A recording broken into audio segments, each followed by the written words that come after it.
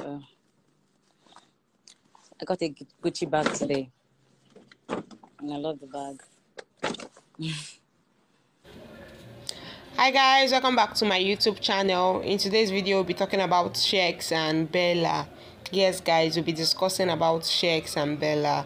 Recall that uh, the couple started their relationship whilst they were still in the house. I mean, Big Brother Nigeria season seven, and their relationship was one of the most talked about on the internet. So right now, the housemates are um, they're on SA. That's Cape Town and having fun, like relaxing. So Bella went out with yesterday with Nee and Cross plus Nee's wife, excluding Sheggz. Like Sheggz was literally didn't go with them.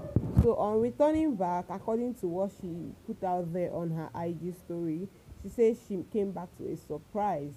I mean, who else would have surprised her if not Big Sheggz? So Big Sheggz got her a Gucci bag, and I mean that kind of surprise it gives butterflies and all the rest. You know, when you come back to the house and you're coming back to a gift. So seems like Sheggz went out immediately. She went out to uh, get her uh, a gift and to surprise her. You know that kind of feeling. So he got her a Gucci bag, guys.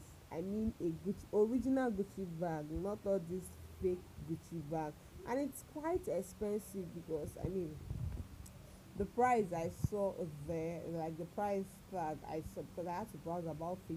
The price tag I saw online, almost it's quite expensive. The guy nigga really spent money.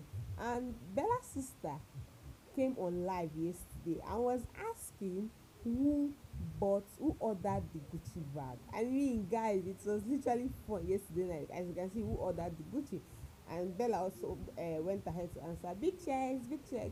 So see the